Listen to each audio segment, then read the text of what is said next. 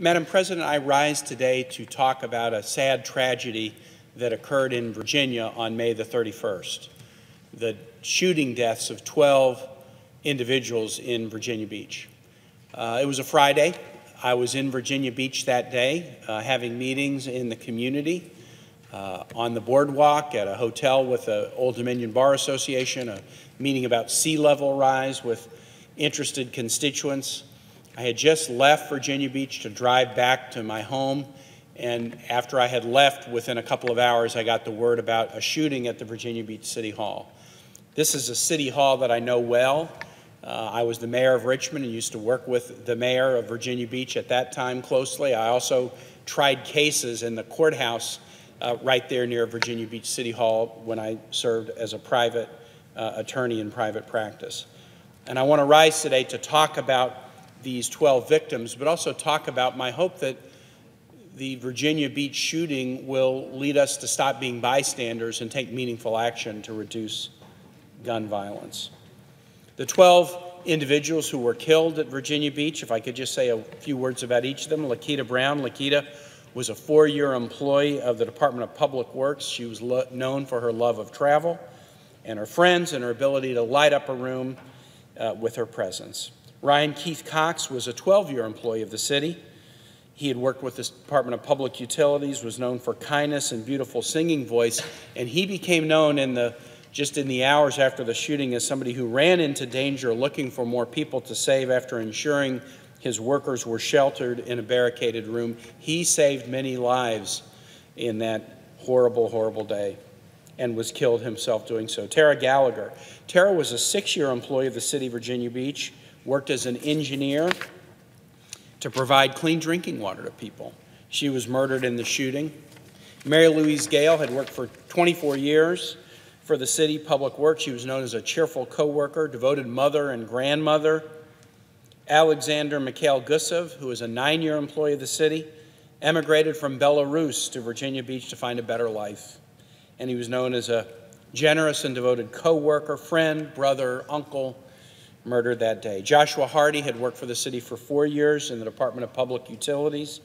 He was known for his kind hearted nature, love for family and faith.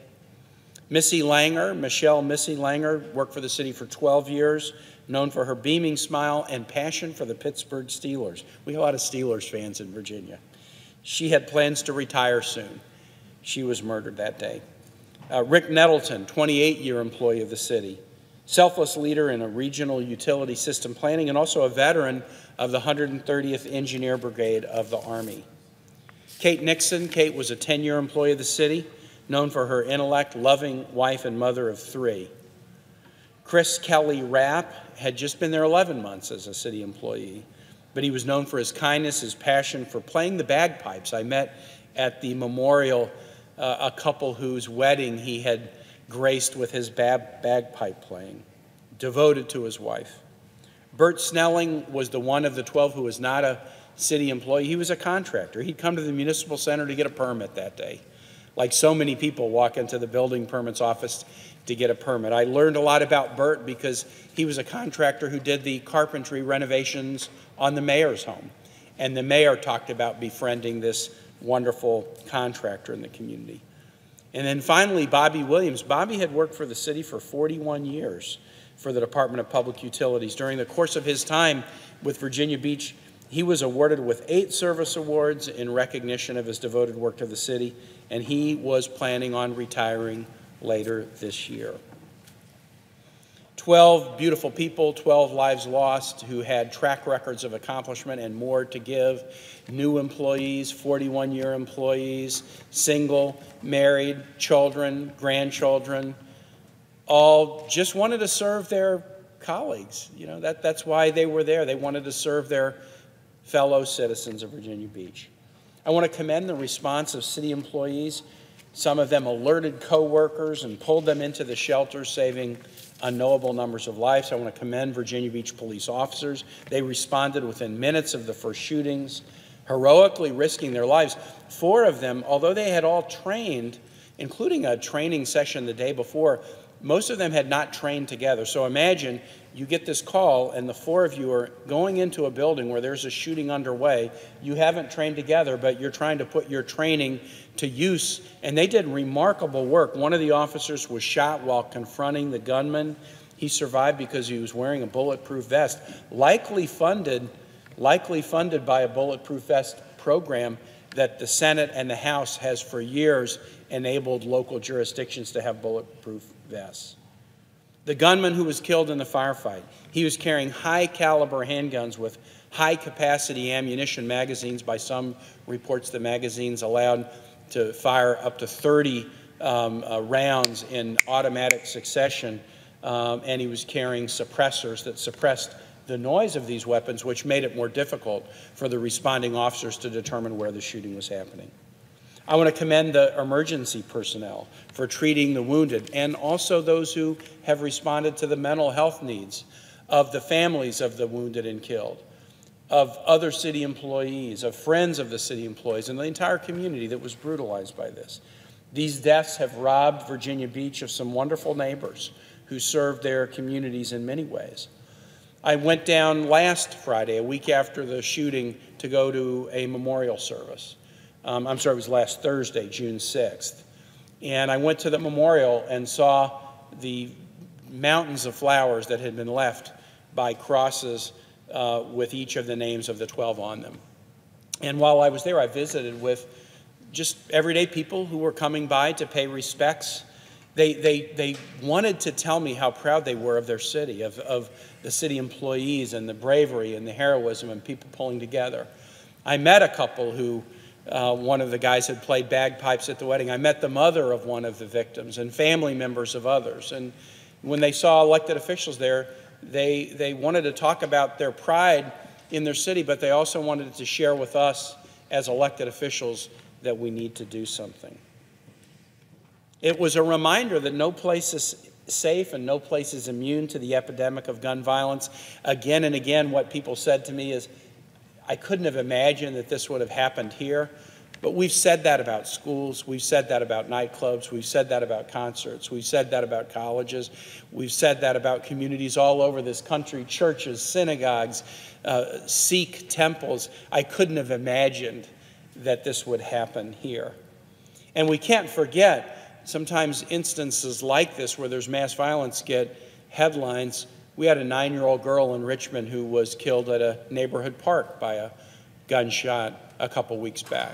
We had a shooting in Chesapeake, Virginia, near in time to the massacre of these 12, where many were injured, a shooting, a mass shooting that affected a backyard barbecue. Many of those were injured and were taken to the hospital. I have painful experience about this. I was the governor of Virginia during what at the time was the worst shooting in the history of the United States, the massacre at Virginia Tech, April 16, 2007. Was the worst day of my life? It's always going to be the worst day of my life. Responding and immediately going to a campus and dealing with the 32 families that had lost their, their kids, their spouses, students, grad students, professors, trying to deal with them in their grief, trying to provide answers, and trying to come up with solutions. I was the mayor of Richmond at a time when our city had the second highest homicide rate in the United States. And both of those experiences give me a lot of scar tissue, so much so that when I hear of an instance like this in Virginia, just like other Virginians have the same feeling, you both have the fresh emotions of horror and sadness, and yet you also feel like a band aid has been torn off because you're reliving experiences that we've had to go through too many times. But the one thing I've learned, and I've learned a lot, but the one thing I've learned is we don't have to just stand by and say nothing can be done. I've learned that the pain is real, but there are solutions. In the, in the midst of horrible crime epidemic in Richmond, we took meaningful steps that uh, brought the homicide rate down by 60%, that reduced violent crime dramatically. You can take action. And if you can take action that will keep people safer, then you have an obligation to take action.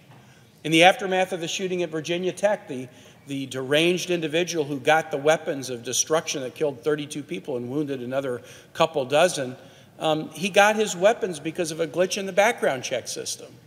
I was able to fix part of it with an executive order. There was more that I wanted to do to make background checks universal, to make sure guns would not go into the hands of individuals deemed too dangerous to have them by federal laws that have been on the books for decades. But some of what I wanted to do legislatively, I couldn't get my legislature to do. But at least we learned if you have a better background check system, more people will be safer. If we banned high capacity magazines, more people would be safer. We have learned that there are steps you can take to keep people safer, and if you can take those steps and yet you choose not to, you are a bystander to this horrible violence.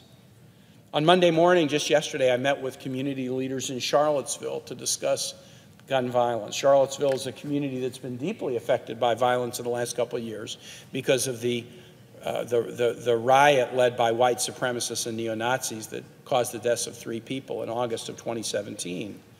They understand violence, they understand the pain of it, they understand missing people who are contributing members to the community, and they wanted to talk about what we needed to do. They were frustrated.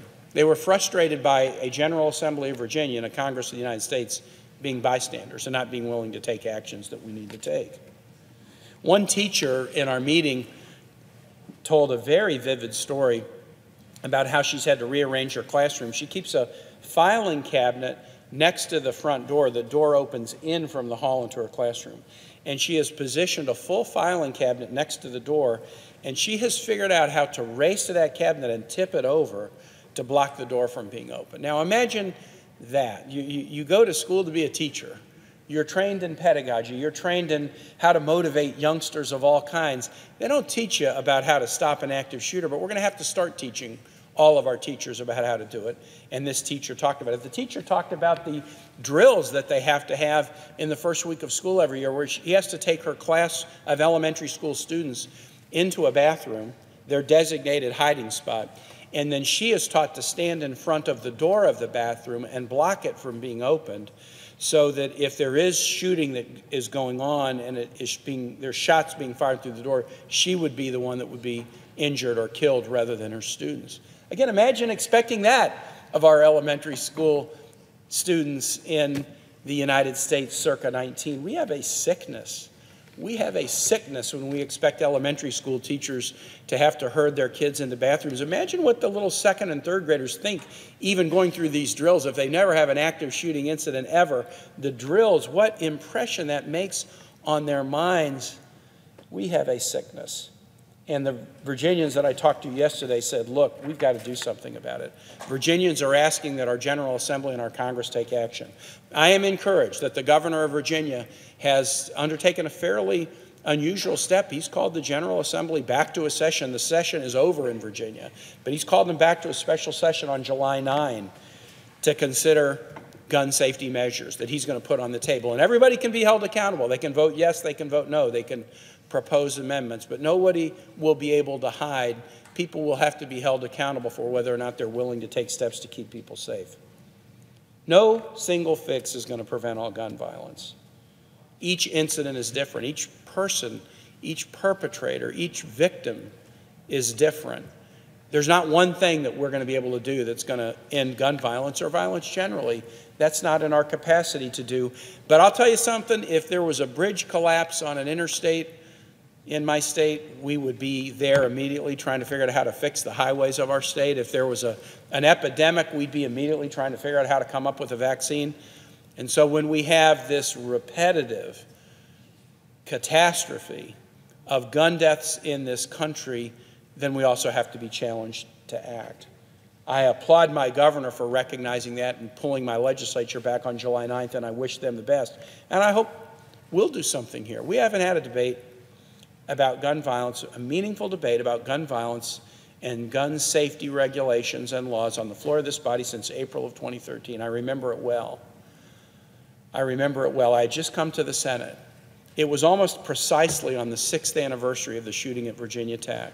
We had a debate on the floor of the Senate about universal background checks, which 90% of Americans support. We had that debate in April of 2013 because it was in the aftermath of the shooting at Sandy Hook little kids massacred in their elementary school by these high capacity weapons. And we had that debate. And the families of many of the victims of Sandy Hook were sitting in the gallery surrounding us. And they were sitting often next to family members from Virginia Tech or other shootings who had come to provide them support. There's a beautiful phrase in the letter of Paul to the Hebrews that talks about being surrounded by a great cloud of witnesses. That day, we had an opportunity to act to keep Americans safer.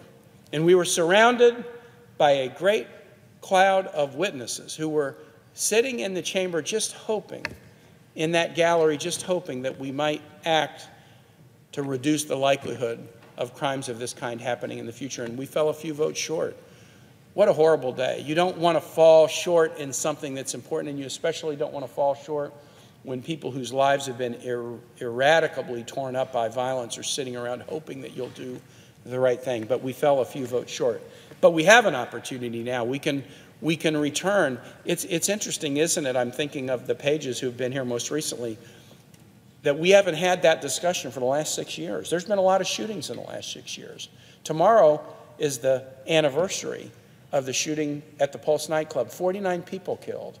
We've had shootings at the Pulse nightclub kill 49 people, more than 50 people gunned down at a concert in Las Vegas, shootings at synagogues in California and Pittsburgh, shootings in Christian churches in Charleston, gun crime after gun crime in neighborhoods, suicides facilitated by guns, children finding loaded guns that were unlocked and killing themselves or killing or wounding others tragedy after tragedy after tragedy, and yet there's not been a debate on the floor of the Senate since April of 2013. Well, I think it's time to have a debate. And guess what? We've got an opportunity. There are two bills that, are, that have been passed by the House by strong margins that are now pending before this body. And I ask that the Senate leadership allow us to have a debate and a vote on these bills. One is a bill that would require background checks on all firearm sales in the country. There is a bipartisan consensus that certain people should not have weapons felons, folks adjudicated mentally ill and dangerous, folks who are subject to domestic violence protective orders. And yet, the only way we can enforce those laws is having a working background check system to make sure that before a weapon gets put into somebody's hand, we ensure that they are not prohibited from having a weapon. One of the House bills would would fill out the national background check system and make it universal. We should take that bill up and debate it and vote it, vote on it on the floor of this greatest deliberative body in the world, the United States Senate. The second bill that's pending here also deals with the background check system, and it deals with a quirk that's been known as the Charleston loophole. Just like the Virginia Tech shooter got his weapons he shouldn't have been able to get them because of a mental health adjudication, but he got them because of a weakness in the background check system. In Charleston, another weakness showed itself. The individual who got the weapons and perpetrated that horrible atrocity in the church in Charleston was not able to get a weapon. But here was a problem with the background check system. Current federal law says if you try to buy a weapon and then they run the background check on you and the check isn't done in three weeks, they have to put the weapon in your hand even though the check isn't done, even though you are prohibited from having a weapon. If they can't do it in three days, you get to get the weapon, even though it's illegal for you to have the weapon. What kind of sense does that make? That's known as the Charleston loophole. The, the House has passed a bill that would end that, that would say you don't get the weapon until it has been confirmed that you are legally able to have that weapon. That bill is in the Senate right now. We should be able to take it up. I hope we will take up federal legislation that I have filed with others to restrict high capacity magazines. I have introduced these bills in the past to restrict magazines to 10 rounds. So often, the police stop a lethal shooting. They, they don't stop it at the start, but they stop it when somebody's changing out a magazine. That gives them some precious seconds where trained law officers, enforcement officers, can stop a crime before it gets worse. In the Parkland shooting in Florida last year, police stopped the shooter because as he was changing out the weapon, he was not a trained marksman. He jammed the gun, putting in the next magazine, and that was what enabled the police to stop him. The carnage there would have been worse. I would like to ban high capacity magazines and limit them to 10. We should be able to do this because we already do it. In Virginia, as in virtually every state, we have a magazine limit. We put a limit on the number of rounds you can put in the magazine if you're hunting a bird. Or in many states, if you're hunting a deer, why do we have limitations on magazines used by hunters? Because it wouldn't be fair to the animal. It would not be fair to an animal to allow somebody with a high capacity magazine to hunt it. Are our sensibilities about animals so different than they are about humans? Do we want to protect animals more than we want to protect humans? If we accept bans, limitations on magazines used in hunting, why wouldn't we embrace a well crafted limitation on high capacity magazines that go into weapons that aren't for hunting animals but that are designed to kill or wound people? I think Congress can encourage state, local, and tribal governments to adopt extreme risk protection orders that would remove firearms from the hands of individuals who exhibit signs of mental health crises, weapons that can be returned to them once the sign of crisis is over. And finally, I hope we would consider legislation. Senator Klobuchar of Minnesota has promoted this for years to prevent domestic abusers from keeping guns. The bottom line is this, and I'll conclude. After each tragedy, we have an opportunity to learn and improve. Americans, even those who support guns in my state, even NRA members, strongly support many of the common sense measures that I mentioned. And the question is are we just going to keep offering platitudes or will we act actually to protect our community? Finally, this after a high profile shooting, it's common for us to offer, offer thoughts and prayers to the victims. And some people get mad at that. I don't. That's really important. We should be offering thoughts and prayers to victims. It's, a, it's an instinctive and common response that's a good response, and we should do it. We also ask questions about perpetrators. What was the motive? Why did the person do this? We have a lot of unanswered questions about the city employee who shot 12 people in Virginia Beach that we don't know, and in some instances, we may never know. We don't yet have a good explanation for the motivation, for example, of the shooter that killed more than 50 people in Las Vegas. But while thoughts and prayers for victims are appropriate and questions about perpetrators are appropriate, I think what we ought to do is the rest of us ought to look in the mirror and ask some questions about ourselves. It's, it's hard for evil to exist in the world sometimes if there aren't bystanders. Most evil that exists in the world, there are bystanders who could stop it. And sadly, the Congress of the United States, my state legislator in recent years has been a bystander. So, a question that we have to ask ourselves as we have bills pending in the Senate that could be considered right now after the latest one of these tragedies is are we going to continue to be a bystander? Will we respond to these tragedies with more than just thoughts and prayers? When there are steps that we know will keep people safer, will we have a meaningful debate and hopefully find a path forward on them? Or we will continue the kind of gag rule that we won't take these matters up and we won't talk about them? That's the question that's on the floor for the body, and I hope the Senate will show courage and leadership in addressing these matters. With that, Madam President, I yield the floor, and I note the absence of a quorum.